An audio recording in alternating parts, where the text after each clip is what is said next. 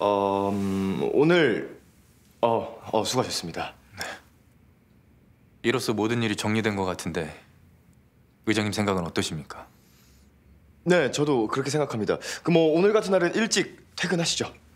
그럼 오늘 일자로 사직 수술이 부탁드립니다. 그 어, 조 팀장님 그건 이미 제가 그건 의장님 의견이셨고 사직서에 대한 제 의지는 여전히 변함없습니다.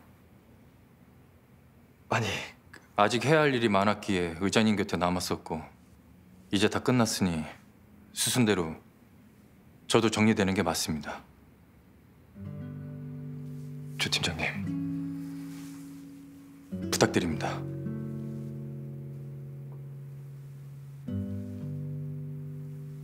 그럼 안녕히 계십시오.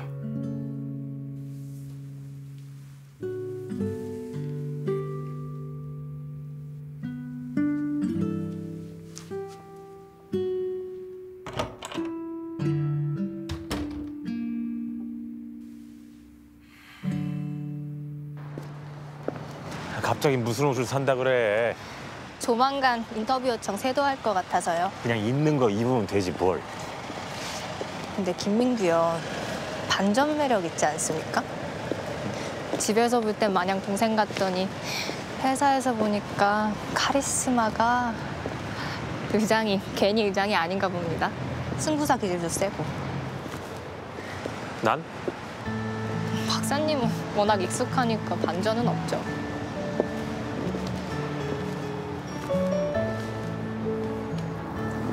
왜? 우리 사귈래요?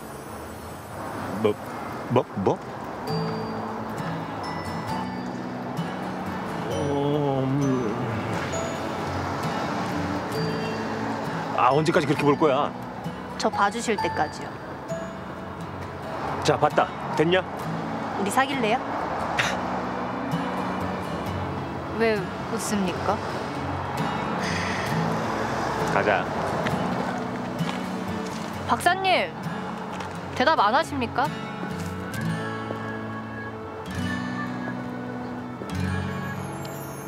추워.